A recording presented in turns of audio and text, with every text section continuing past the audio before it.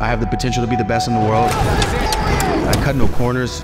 I, I learn from my mistakes and my success. I put everything into this, you know?